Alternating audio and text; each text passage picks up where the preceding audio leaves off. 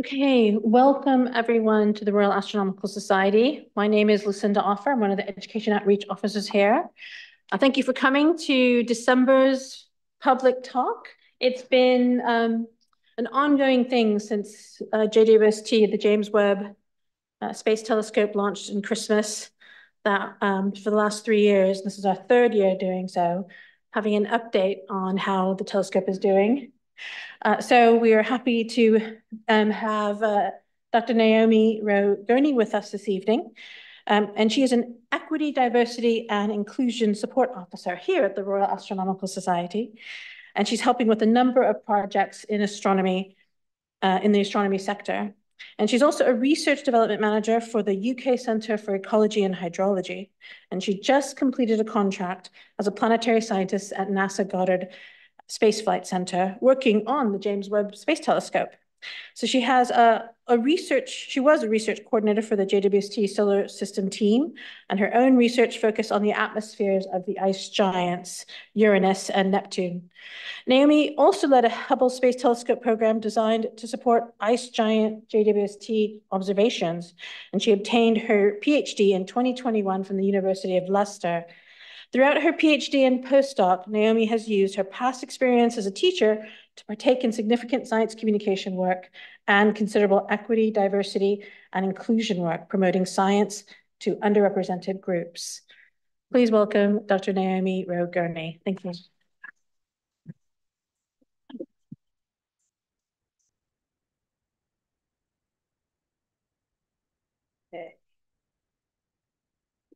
Okay, hi everyone. Thank you so much for being here, both online and in person. Um, so today I'm going to be talking to you about uh, the JWST. Uh, its first two years. These first two years have gone uh, extremely quickly. I can't believe it's already been two years. Um, and I'll start with a little bit more about my career journey. Um, so I started my uh, my career doing a four-year integrated master's in physics of astrophysics at the University of Leicester. Then I ended up back in Leicester for my PhD. And my thesis was looking at the atmospheres of both Uranus and Neptune using the Spitzer Space Telescope, which I'll talk about more in a moment. Uh, and I got my PhD and moved out to the US uh, near to Washington, DC in October of 2021. And uh, that was just before the JWST launched. And it was to do a postdoc at NASA Goddard, um, working directly with uh, the JWST, specifically the solar system teams. Uh, and I got back about two months ago, so in October of this year, and I now work here at RAS as an EDI officer, and I'm also working at the UK CEH, um, supporting research into environmental science. Um, so uh, because I have now transitioned into doing some Earth observation, so instead of looking out, looking in a little bit more, so um, this would probably be one of the last talks that I do about JWST, which is um, kind of sad, but um, also exciting to be the last one. So uh, what is the JWST? Let's start right at the beginning. Um, it's the largest and most powerful space telescope uh, we've ever created and um, the biggest one that we've ever sent to space. And it has a 6.5 meter primary mirror, so about three stories of a building. And uh, it's made up of 18 separate gold-plated segments. Uh, and it has four scientific instruments that are all housed uh, behind the back of the mirror, and they all look in infrared wavelengths. It also has a tennis court sized five layer sun shield um, to keep it cool. And uh, it was mostly built for looking at distant astrophysical objects, so galaxies, stars, nebulas. Um, but very early on in its concept design uh, phase, scientists wanted to also be able to look at our own solar system, all objects in our solar system. And uh, the right image here shows uh, a very early concept design for the NGST, which it used to be called, or the Next Generation Space Telescope, um, from scientists that created it and designed it at Goddard. And uh, it shows a lot of similarities with the uh, JWST that we know today, including that large deployable mirror, uh, the open telescope design with that boom uh, that extends, and also the large multi-layer sun shield. Uh, and it took a worldwide collaboration between NASA uh, in the US, the Canadian Space Agency in uh, the uh, in Canada, and then also the European Space Agency, uh, including the UK. Um, to make this huge advancement possible. And the UK actually played a very big role in the structural design of the telescope and also in uh, one of the instruments, which I'll talk about later, which sees in the mid-infrared. So a lot of people say that JWST is the successor to the Hubble Space Telescope, but that would be a disservice to Hubble because when it comes to space telescopes, Hubble is still the most famous example, uh, although JWST is catching up slowly, but the Hubble's been around a lot longer and it's still going strong today. Um, it was actually launched in 1990. It's about two months older than me. Um, and in that time, it's done over 1.5 million observations. Uh, and it's produced beautiful images of the solar system, like the ones I'm displaying here. And the animation shows just how big uh, both of these telescopes are. You can see there's a person there for scale. Uh, and uh, Hubble and JWST really complement each other. Even though JWST's mirror is five times bigger uh, than Hubble's, um, they both work in different wavelength bands. And uh, Hubble sees mostly in visible wavelengths, whereas the JWST looks at longer wavelengths that are beyond red in the spectrum, and these are called the infrared. And we experience the infrared as heat. So uh, JWST is almost like uh, a really expensive kind of night vision security camera. Um, it works in the same uh, wavelengths as one of those.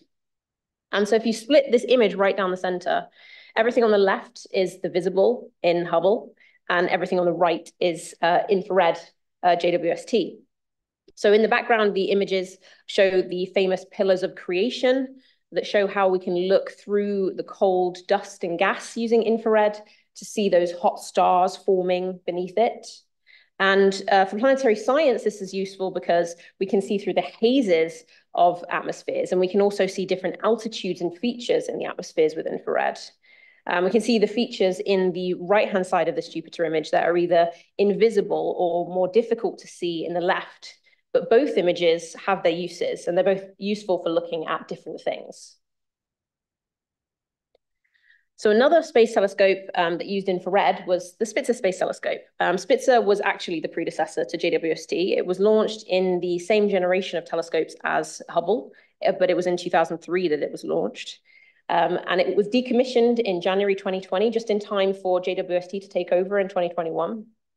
And it was in an Earth trailing orbit, so following us around the sun.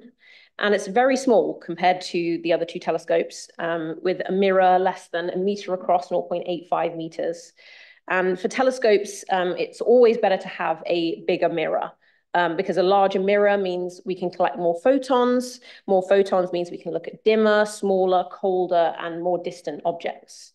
And JWST's mirror has an area more than five, 45 times greater than Spitzer's, um, so much bigger. And uh, my favorite fact about uh, Spitzer is that the mirror size is actually almost exactly the same size as the secondary mirror on the JWST. So that mirror that's on the end of the boom that reflects light back into the instruments is the same size as the Spitzer primary mirror. Um, so we've really upgraded. And my PhD research used Spitzer to look at Uranus and Neptune in preparation for the JWST. So how does a space telescope like the JWST work?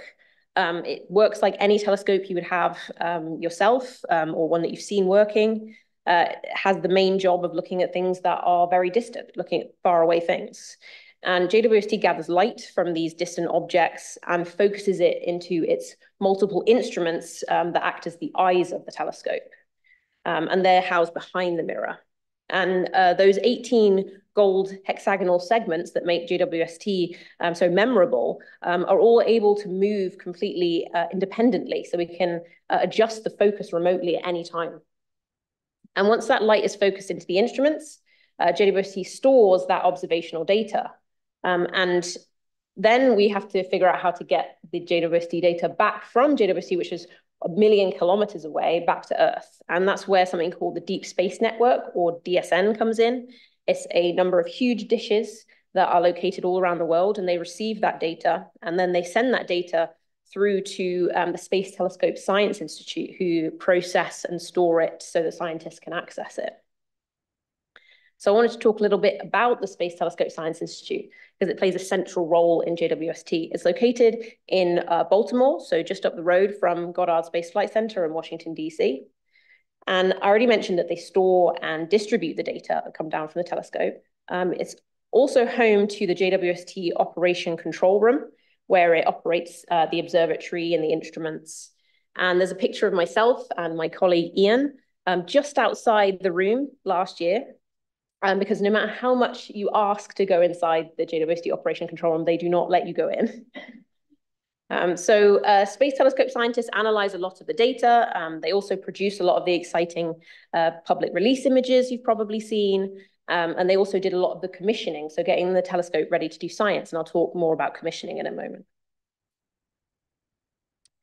So going back to the telescope itself, uh, the power of the JWST isn't just in the size of the mirror, it's also in the uh, power of the instruments and the quality of the instruments. And there are four instruments aboard, all housed in the ISIM or the um, Integrated Science Instrument Module. So we have the FGS NIRISS, uh, we have the near-infrared camera or NIRCam, we have the uh, near-infrared spectrograph or NIRSpec, and the mid-infrared instrument or MIRI. And these instruments provide imaging and spectroscopic capabilities across the whole spectral range. And um, the instruments that begin with the word near are, are in the near infrared, uh, closest to red in the spectrum, whereas MIRI is the only one working in the mid infrared, and that's at longer wavelengths. And I mentioned that the UK was very heavily involved in the mid infrared instrument. Um, and that's probably one of the most powerful ones that we have um, because it's the only one in this uh, very difficult to image range. And both MIRI and NIRSpec are very powerful because they do something called spectroscopy. So imaging is easier to talk about because um, our cameras on our phones do imaging, um, even our own eyes do imaging all the time. Um, but I'm going to talk a lot about spectra and spectroscopy as well because it's one of the most exciting aspects of JWST to scientists. So JWST has these six different spectroscopic modes, but the main principle behind all of them is the splitting up of light into different wavelengths. Um, so we measure how much light there is at each one of those wavelengths, and that gives us a spectrum like the plot you can see in the top. And this spectrum actually shows um, the kinds of molecules that may be detected in a star-forming region, like um, the one shown, the Eagle Nebula, but the most exciting spectroscopic mode for solar system scientists is this IFU mode or integral field unit mode. And an IFU uh, means that we don't have to choose between whether we image something or use a spectrum, we can get both. Um, so each pixel in the image that you take has a spectrum that you can look at. Um, so we generate these um, kinds of image cubes because we have three dimensions of information, not just two anymore. Um, and it's very, very dense with information. And we'll see how useful that is uh, for solar system science in a moment.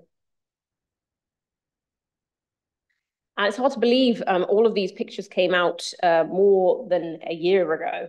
Um, but they're very useful for reminding us about JWST's four major science themes and the whole reason that it was built in the first place. Um, so uh, objective one uh, two and three. Um, so we've got first light, so looking at the early universe. We've got understanding galaxies, and we're also seeing through the dust and, uh, and gas to where stars are being born. Um, so all of that being more cosmological and um, astrophysical. And then we have um, this fourth um, objective.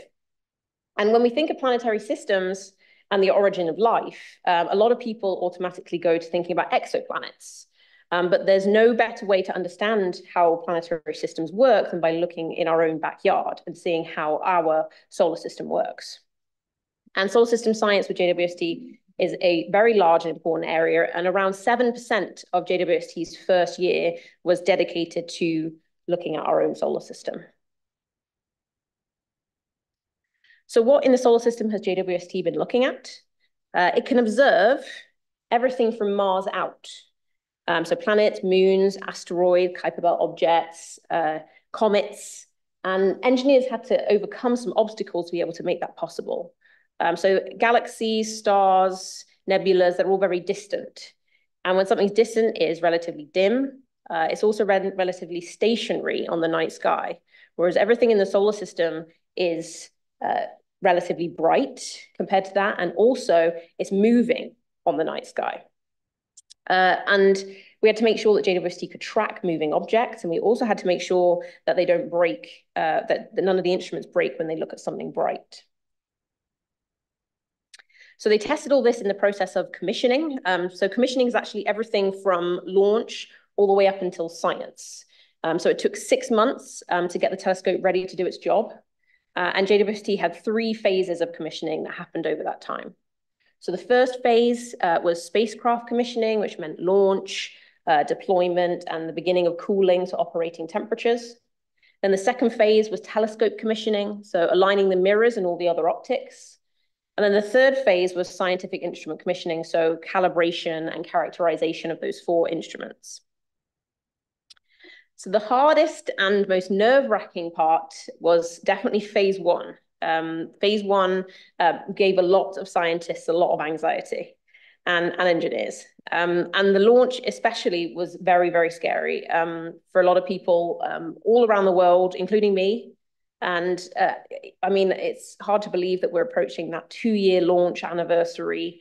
Um, and this is a picture of me just before launch, um, very early in the morning in my pajamas, uh, watching the live stream, uh, very, very anxious. Um, and it's a shame because uh, we were meant to go into the office and share our anxiety. Um, but uh, because of a new strain of COVID, we all had to stay home. So everybody, um, uh, even like everyone at NASA Goddard, um, was at home watching it in their pajamas. And, and all phases of the launch, thankfully, went off without a hitch, um, thanks to ESA and their Ariane 5 rocket, um, which means actually that there's enough fuel for a mission lifetime of over 20 years, which is amazing.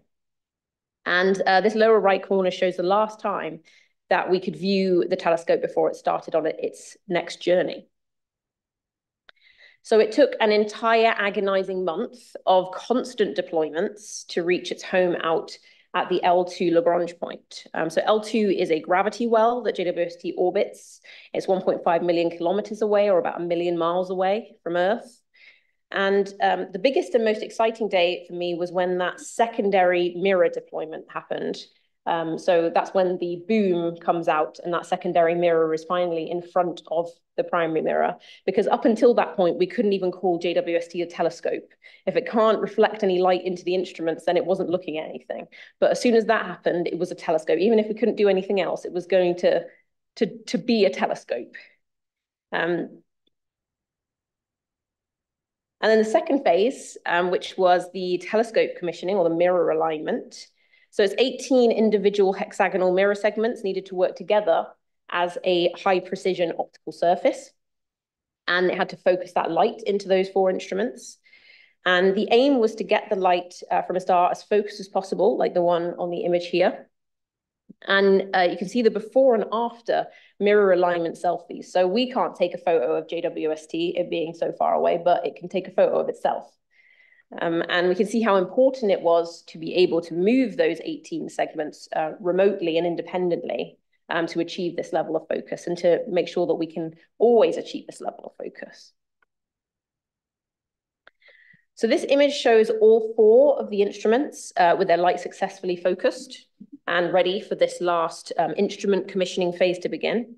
So I was involved in a team uh, that did part of this process um, for solar system observers, um, and it was led by astronomers at the Space Telescope Science Institute. So we did two things that are important for solar system observations. We did something called MT, or moving target testing.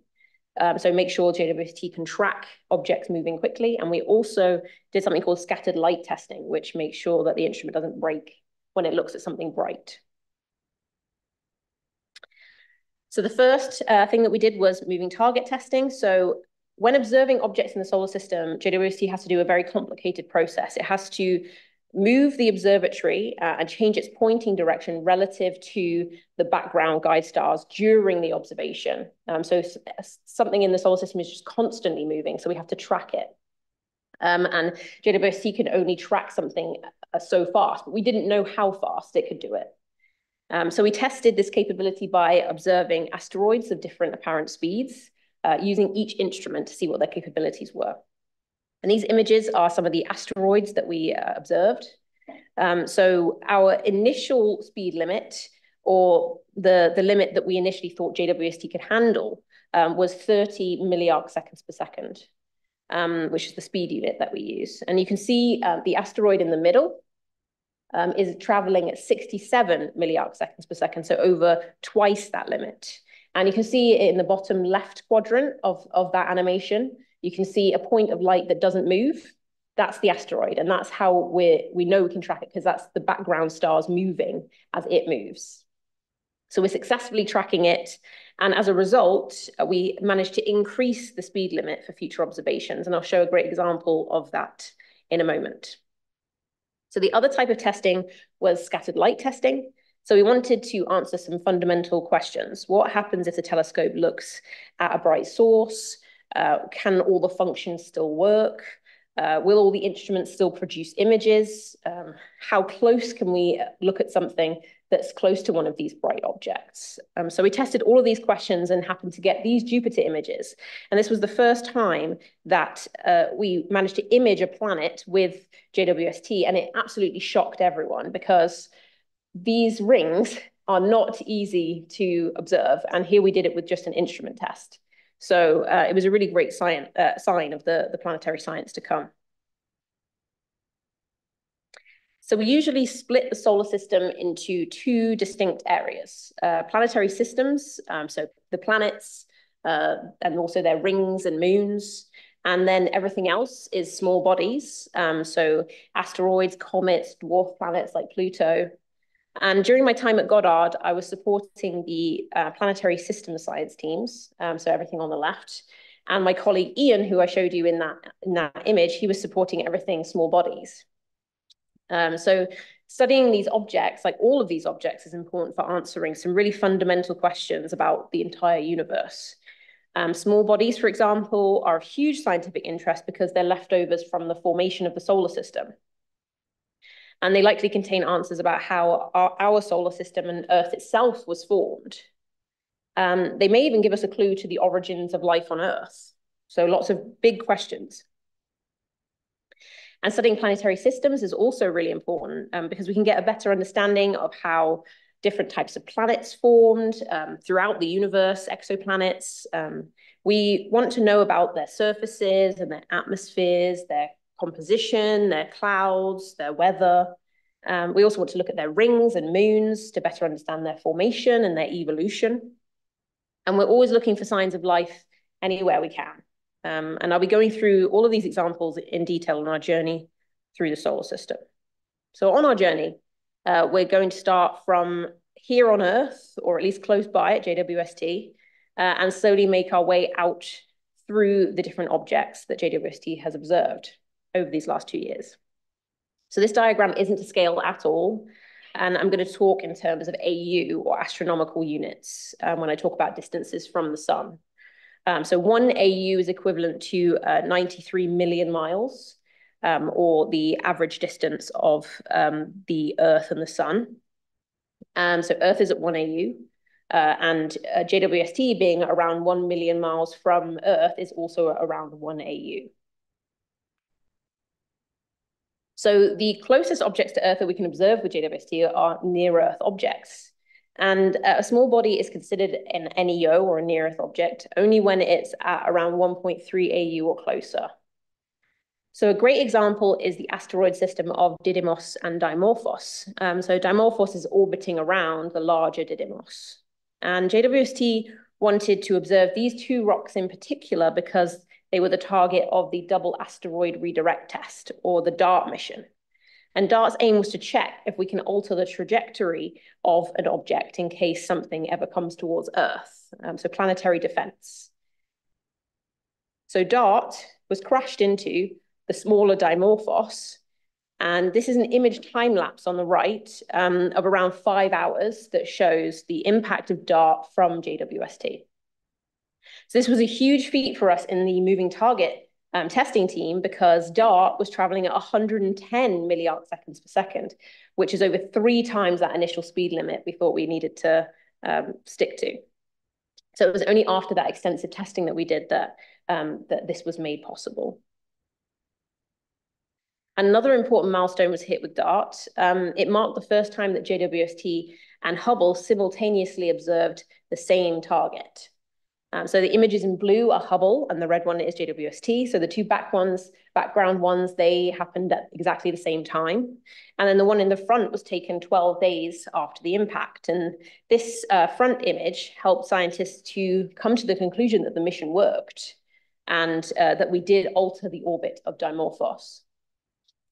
And scientists are also really interested in that um, kind of uh, comet tail that's come off it, because that's all of the debris that's come from that um, impact.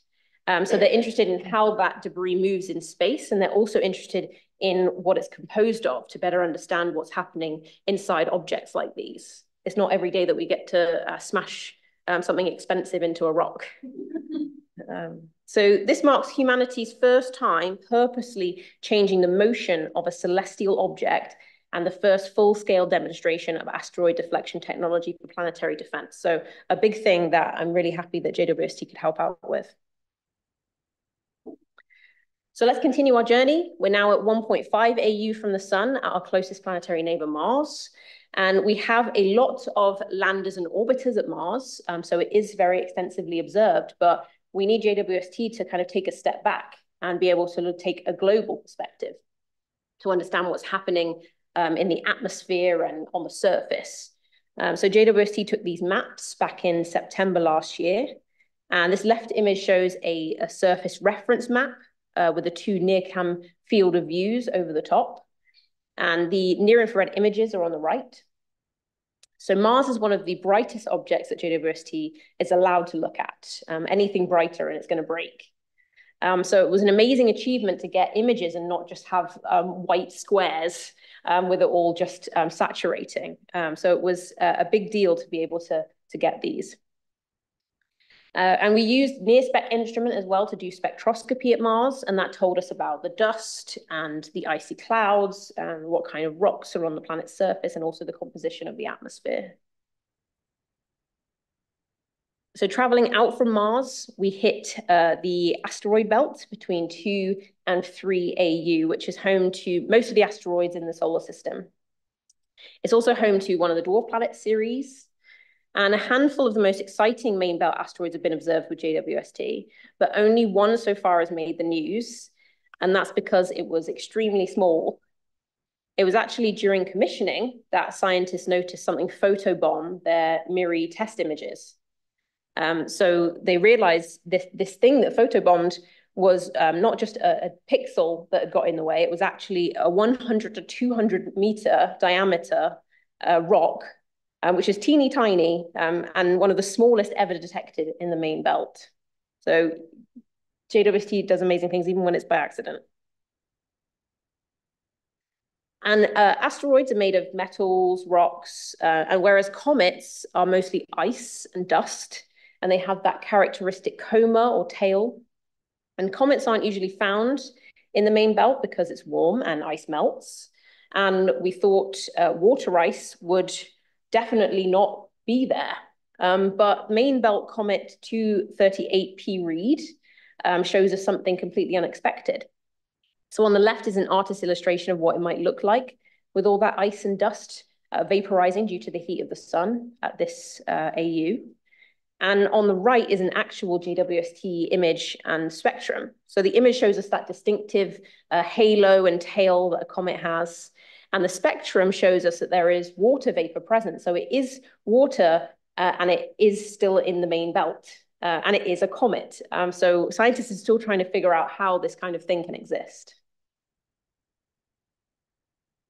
So we've already seen a lot and we've only made a dent so far in the whole solar system. Um, we just left the asteroid belt at 3 AU and um, we're entering into the outer solar system now, so the home of the giant planets.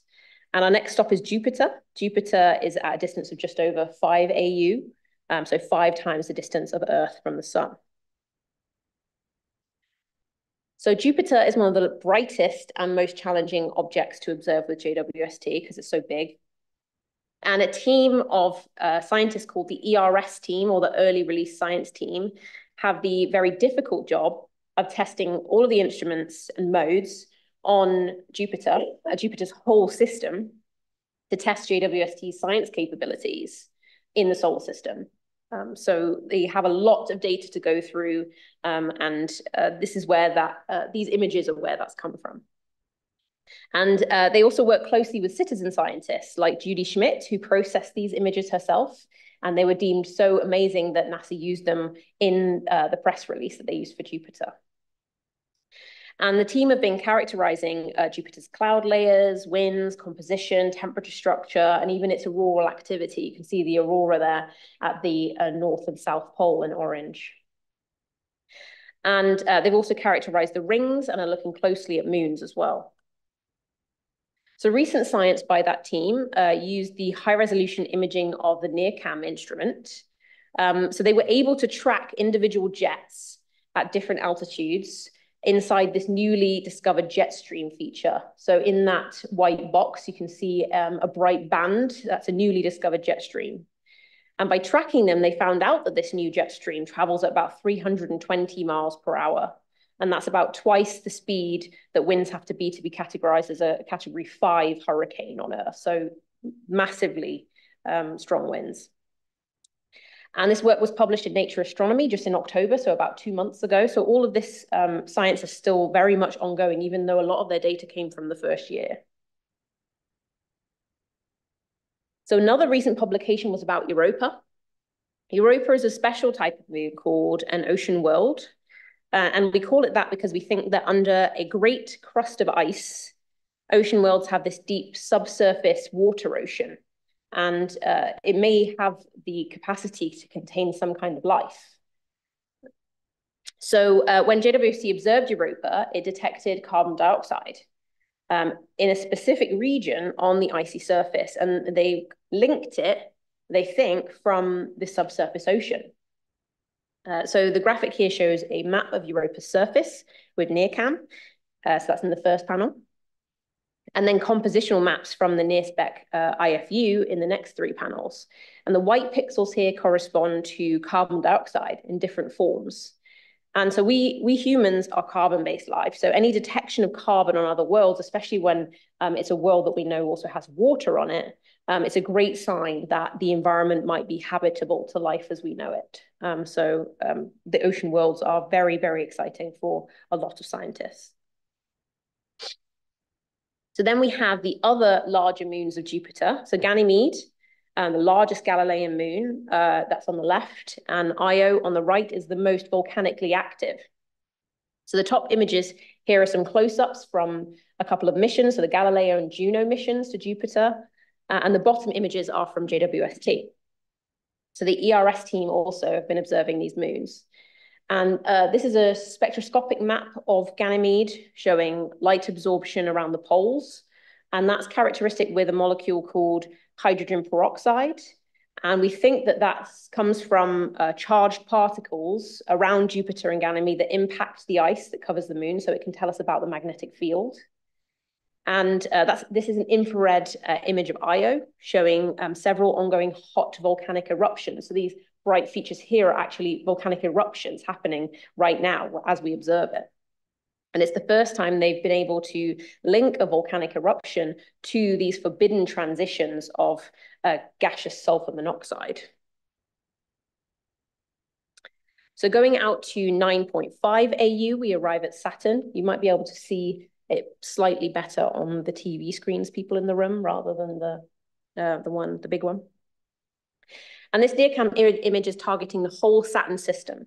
Um, so we can look at the rings, the smaller moons, and also the atmosphere. And although the Cassini spacecraft observed the atmosphere from closer up, this is the first time that we're able to look at this particular wavelength, so 3.23 microns. And that wavelength is unique to JWST.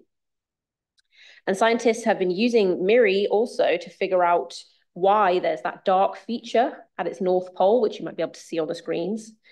Uh, and uh, they're also using long exposures of this image to look at the fainter, more diffuse rings. And, and like Jupiter, Saturn also has some really interesting moons, including my favorite moon, Titan. And it's my favorite moon because it's the only moon in the solar system where there is a dense atmosphere and it's the only body where there are rivers, lakes, and oceans like on Earth, but instead of being made of water, they're made of methane. So Titan had this amazing press release with these two left images from JWST NIRCam.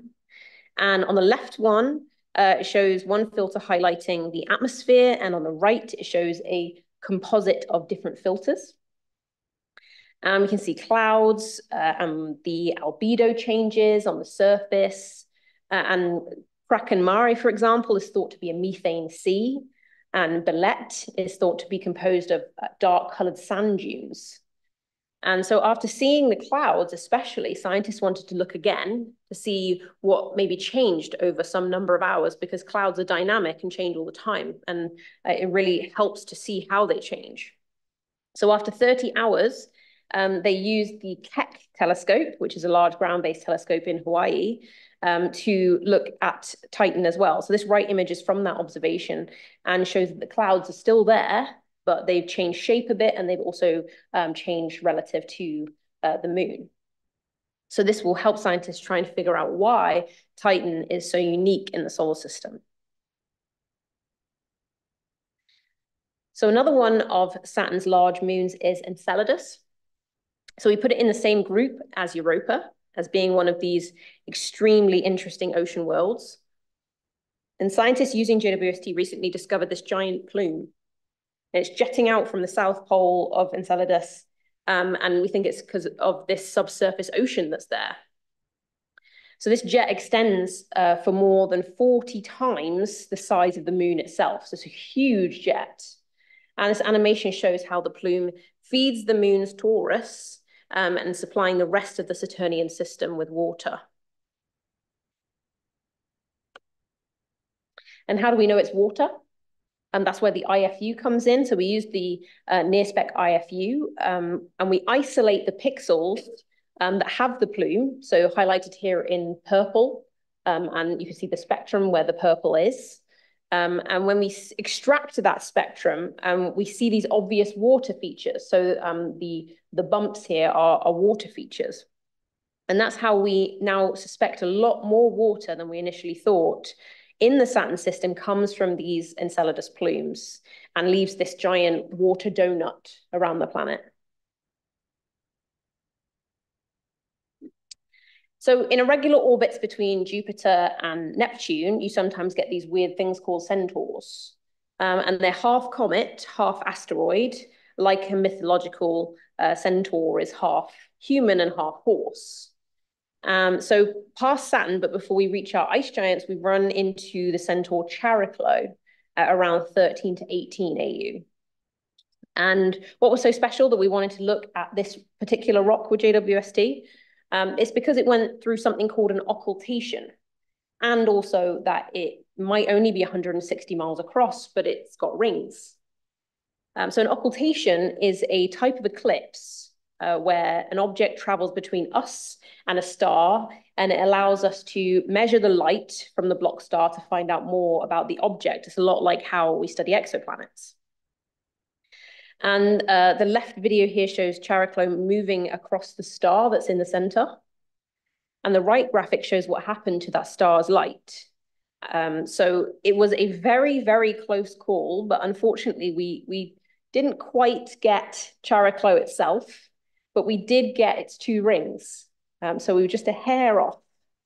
And this is really redefining the different classes of small bodies in the solar system because um, these things can have moons and um, multiple ring systems, um, which is um, really complex for such a small feature. So out at 20 AU, we finally hit my favorite planet, Uranus. And it's my favorite because it is um, the weirdo of the solar system.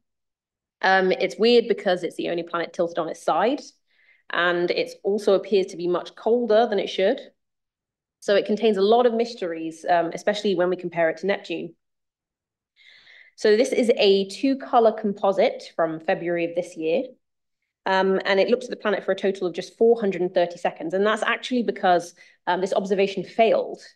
Um, this was uh, supposed to be just like the Neptune one, which I'm about to show, but um, there was a problem with one of the guide stars and we only got 430 seconds instead of um, the usual few minutes that we wanted, um, tens of minutes that we wanted. So um, we looked uh, at it for only four, 430 seconds, but we still see rings, moons, clouds, all beautifully clearly, and, and there's still a lot of science to be get done with these images. And look out in the future for uh, more Uranus images because, uh, you know, I heard there might be some coming soon. So we can get hints of the kinds of exciting things to expect from future data. If we zoom into this a bit, we can see the blurs in a lot of places where we expect to see the smaller moons. Uh, and uh, scientists are also excited to look at detail in the rings to try and observe um, these more distant faint rings. And we see a lot of detail in the atmosphere as well. Um, so here on the right, you can see there's a cloud, there's cloud features that tells us a lot about circulation and weather and also deep chemistry. And that faint polar structure that you can just about see um, is usually it needs a lot of exposure time to view um, with other telescopes. But here we're seeing it even with a, a dud observation, we're seeing that. Um, so it, it is amazing that we're able to see it in such a short exposure. And that wasn't actually the first time we looked at Uranus with JWST. Um, more observations happened with the MIRI and the NIRSPEC uh, instruments beforehand in January. Um, and it's annoying that I can't share anything with you right now, but um, I can share these models that we generated before launch. So this allowed us to plan ahead for the actual data analysis. And we generated these synthetic data cubes, um, so from MIRI IFU in the same resolution and wavelength of that MIRI IFU. And the right image here is part of an example data cube of Uranus. Uh, and each pixel in that image has an associated spectrum like the one above. And spoiler alert, it looks very, very similar to the real data. Um, when I first saw the real data, I thought I'd accidentally clicked one of these models. And uh, we might lose some spatial resolution when uh, we uh, gain this spectral resolution um, with the IFU. Um, so it's not as crisp and clear as those NIRCam instrument uh, images. But we make up for it by uh, getting all of the spectral information. And also, uh, we've used Hubble and also large ground-based telescopes like Keck um, to look at Uranus in the visible and near infrared at around the same time. So we always know that we're going to have an image that we can look at to kind of compare things if we don't have the spatial resolution to look at it with these cubes. And using Hubble and Keck at the same time, as well as JWST, was a very, very successful campaign, and the science is coming very soon. Not by me. And if we keep going, uh, we get out to Neptune at 30 AU. So this was the first time we pointed JWST at an ice giant. Um, so it was the most exciting day for me in this past year. And you can see Neptune with its amazing rings and its largest moon, Triton. And with the planet on the background of galaxies, you really get a sense of scale of the whole universe. And these images were taken as an outreach only program, just like the Uranus ones were. Um, so they're not for science purposes, um, but they're just to showcase what the NIRCam instrument can do uh, for looking at these amazing planets. And I was uh, lucky to be the subject matter expert for this um, and the Uranus image as well. Um, so I worked with the Space Telescope Science Institute to get them ready for public release. So let's look a bit closer. And remember, we're all the way out at 30 AU. So the time it takes for Neptune to go around the sun is 164 Earth years. Um, and it's so distant that um, the seasons take so long to happen that in the advent of modern telescopes, we haven't actually been able to observe the North Pole of Neptune. We've never seen the North Pole.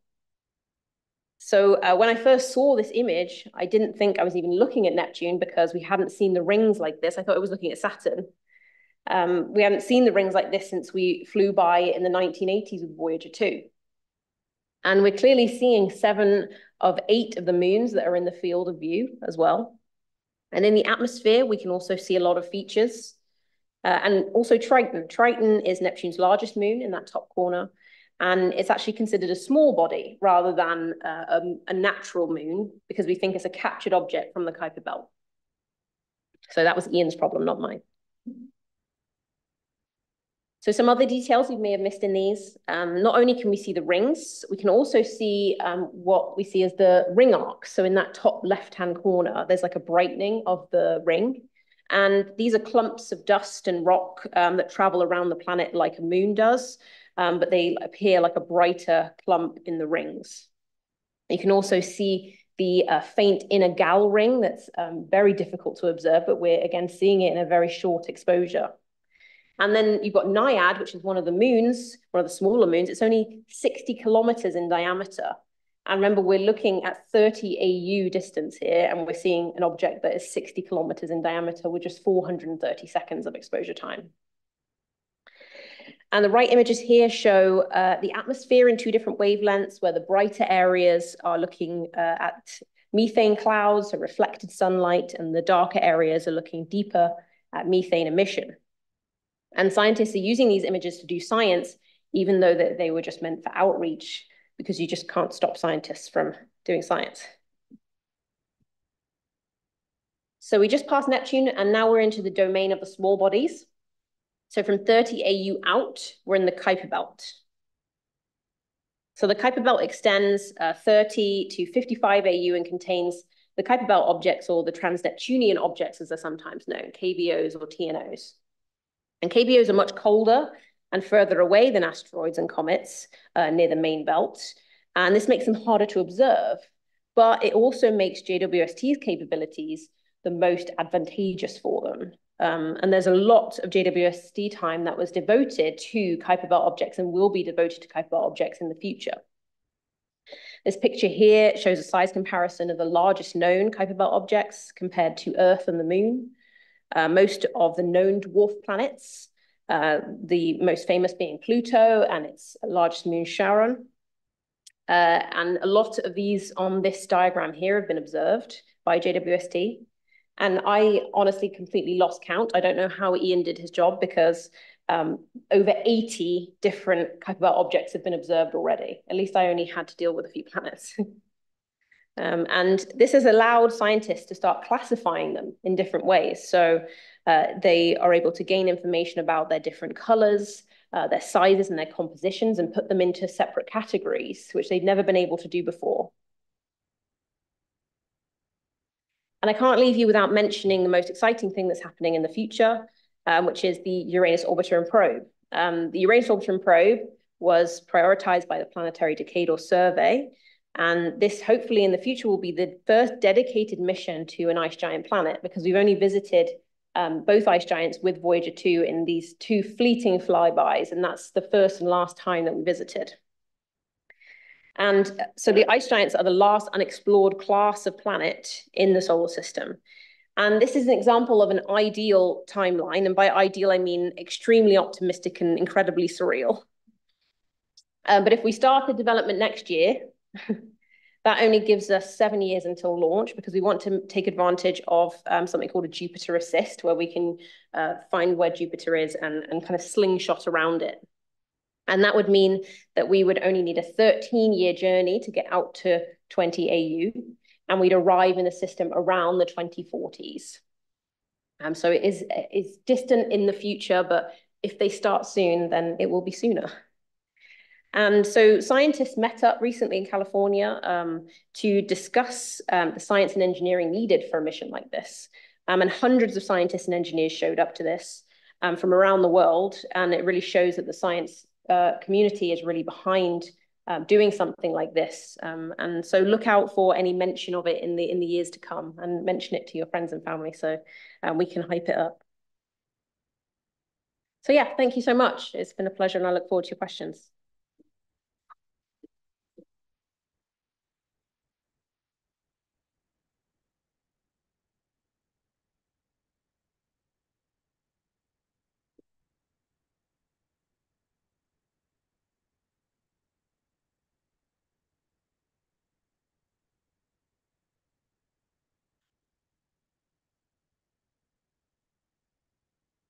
One, two, one, two.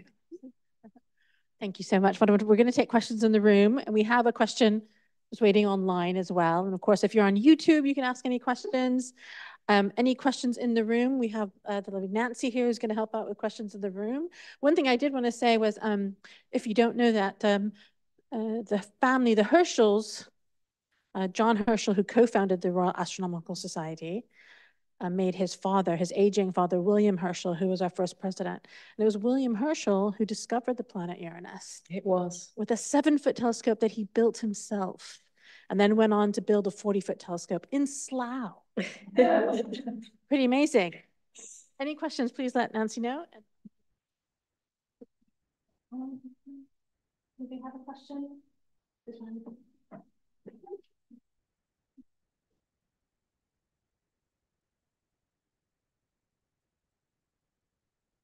I wondered what the theories are why Neptune is uh, Uranus, Uranus is sideways compared to everybody else. Yeah, great question. So um, the main theory, which is usually the theory they use when they don't know anything and, and they don't know what to say, is it got hit by something really big. Um, so we think that early on in its formation, um, something like planet size hit it and kind of turned it inside out. Um, and that turned it on its side and also released all of its internal heat, which explains why it's in a weird um, angle and also explains why it's colder than we expect. Um, so that's the main theory, but there are other theories out there.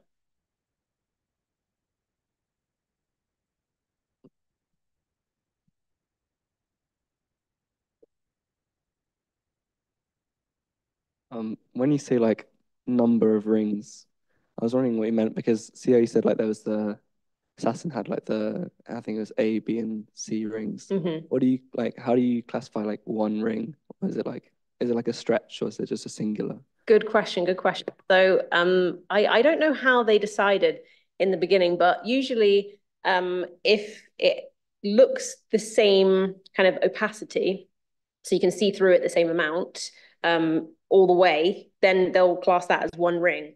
Um, whereas if, um, so sometimes a ring can be like at the edge of another ring. So maybe look at Saturn, I think there's one that um, it has a bright edge. So they will call that bright edge a different ring to the ring that's attached to. So honestly, I don't know how they decided how to do it, but um, it's a great question.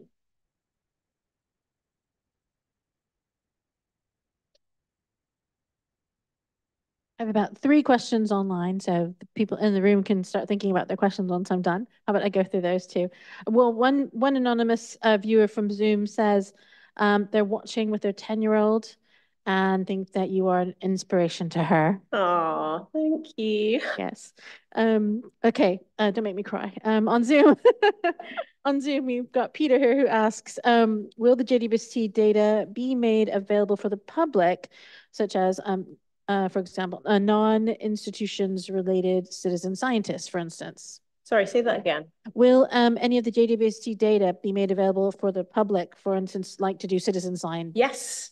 Um, so actually a lot of, so the, the, the program that I was working for was something called um, the GTO program or the Guaranteed Time Observation Program. And all of that data was open access. Um, so as soon as it comes down from the telescope and gets processed by Space Telescope, maybe like 24 hours after it's observed, it's available online and you can download it. You just have to go to, um, there's a repository of all of the JWST data on something called MAST, the M-A-S-T, and you can download everything from there. You, you just need to uh, figure out the file formats and um, kind of read up a little bit. And you, but you can use things like Python, which is very easily accessible to kind of play around with them. So it is very, very accessible to the public and to citizen scientists. Wonderful. Um, question from YouTube. Matthew Henson asks, uh, what do we achieve for the James Webb Telescope? Explain why we need to achieve this goal. So why, why, why why the just why? yeah. um, well, I would say um, just like why Hubble, like we always want to kind of look at distant objects. And those four main science goals that I explained were um, the why of JWST. And I think it was mostly built, especially in the infrared, because um, when you're looking at these um, distant uh, galaxies, and we want to look as far uh, as far away as possible, you are looking back in time. And um, as the universe is expanding, um, you have red shift, um, which means things moving away appear redder. And if you go past red, uh, because you're moving so fast and you're so distant, you end up in the infrared. So that's why you need the infrared capabilities of JWST if you want to go further and look deeper into the universe. So that was one of the main uh, science goals of JWST. And we're just happy to tack on some solar system science. like both uh, Naomi and myself, we um, I'm a secondary teacher and from California originally. I remember talking about JWST back in 2004 Ooh. to my students, which is why I'm, you know, you're saying your timeline for the Uranus probe, mm -hmm. which is almost over mm. 20 years, and that's really how long it takes to get these. And you're saying that's very, you know, yes, yeah, exactly. My um my boss um back when I worked uh, for JWST Heidi Hammel, um, she had worked with JWST since the beginning. So like going on 25 years of JWST. So uh, the level of anxiety I had on launch day, I can't even imagine what she was going through. Yeah, yeah. Uh, last question here from Zoom, and of course we'll then go back to the audience in in house. Uh, Peter Herbert asks, "What is the lifespan of the JWST?" Okay, great question. Um, so I explained before about um, the fuel capacity. So the fuel is a limiting factor in the telescope itself because we need fuel to be able to adjust uh, where it looks. Um, so it's not a telescope unless we can point it at something to look at. Um, so when the fuel runs out, the JWST um, can no longer work. Um, so because ESA managed to launch it so efficiently, we have over 20 years of fuel. Um, and uh, so we wanted the JWST to at least last five years. Um, that was in the plan, and then with an option to extend it to 10. And now we're looking at being able to use it for up to 20, as long as nothing else in the telescope fails. But it, it won't be the fuel that's the limiting factor. So fingers crossed for over 20 years of service.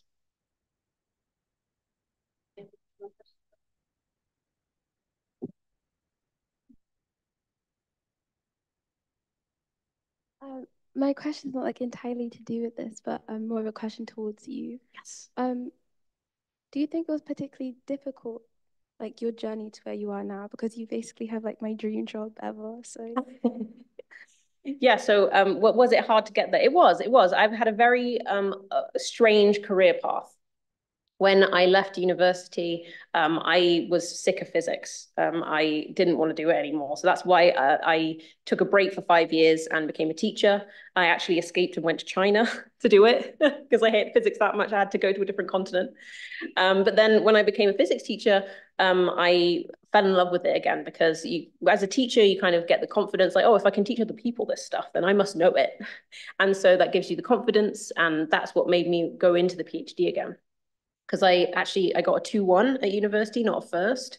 And a lot of the um, like PhD like applications say, oh, you need to have a first, like you need to be the top of your subject, like you need to be the best. Like you don't. Um, you don't have to be smart to be a PhD student. You just have to be like dedicated and love the subject that you study. That's it. Um, so um, yeah, I had I had a lot of like ups and downs in my career, but uh, once I like found my path, um, it was okay. And I'm still kind of wibbly winding because I'm now going into um, uh, environmental science. So you know, I'm still figuring out.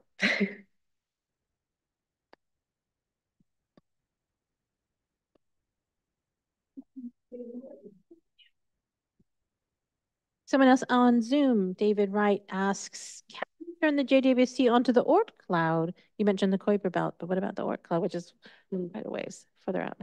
Good question. Yes, the Oort cloud is very, very distant, and we don't have a lot of objects that we can that, that we know exist in the Oort cloud. So the problem with um, searching for new things with JWST is it's a waste of time. Um, we can't use the time that everybody wants. So this telescope, only one person can use it as, at a time, and it's one telescope, and um, so there's lots of competition for time. So uh, we can't use it to search for these objects um, that we don't know exist. So um, that's kind of why we haven't looked at the Oort cloud much. But I think there is there are plans in the future to um, try and observe objects there. Any other questions in the room? Thank you so much. Uh, thank you so much, Naomi, for joining us, and thank you everyone for being with us. I just want to also let you know that um, we will be back with public talks in January. We're going to talk about poetry and science communication. That will be online only. Um, so we are kind of trying to get people into the building, but also being very flexible with online. And we thank you, Dr. Naomi Rowe-Gurney, for being here with us in person. Thank you. Thank great. you again. Thanks. Sorry, guys. I think we have two more questions if we have time. Is that okay? Really quickly then. You can go ahead and didn't you? Oh, we're going to keep it. Yep. And I'll pass it to you. Okay.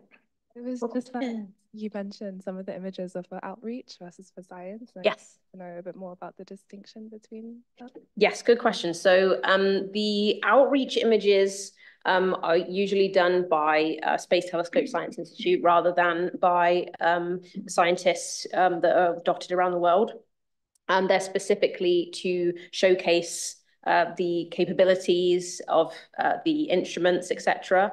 Um, and the differences are that um, they're usually the images are kind of locked down and um, they're private and you can't actually access them. But as soon as they appear public, then they might as well be science images. Um, they also uh, tend to uh, pick the filters of the science images. So they use NIRCam because NIRCam's the prettiest. Um, and then they also pick the filters that look the best. They don't they don't care about what the science is behind each filter, which is what scientists have to to kind of do, like, oh, what will be visible in each one. They're just trying to get the best color contrast so that it'll look the best. And that's kind of like how they decide what to do for each one. I think you said that comets are entirely ice, but the photograph, close-up photographs I've seen they look they look to be rocky bodies to me with craters and boulders on them. Ice and dust, yeah, yeah. I, ice and dust. Ice and so, dust. Yeah, yeah, lots of. I also once heard that if they discovered a comet was going to hit the Earth, there'd be nothing we could do about it because it would just plunge in and wipe out all life. But if comets are entirely made of ice, that's not a problem because obviously, no matter how big it is, any ice would just evaporate in the atmosphere, wouldn't it? So are comets, in fact, not a danger to life on Earth? I think they are a danger still. I think um, comets are are still uh, like ice is is uh, solid. The dust that is in there is also like compacted. Um, well, dust would lot, dust and like turn to rock. fine powder once the ice melts. By dust, yeah. in small yeah. rocks. So um, these small rocks still could be quite large, but it's usually like a um, a conglomerate of uh, rock, dust, ice. So if a comet hit the Earth, would it do a lot of damage? I have no idea, probably. A big one, I'm sure.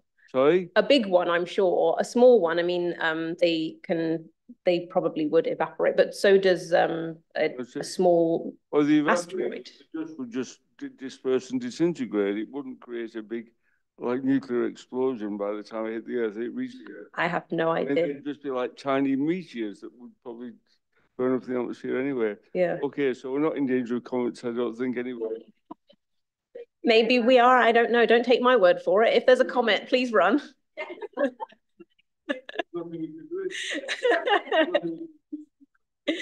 yeah, yeah.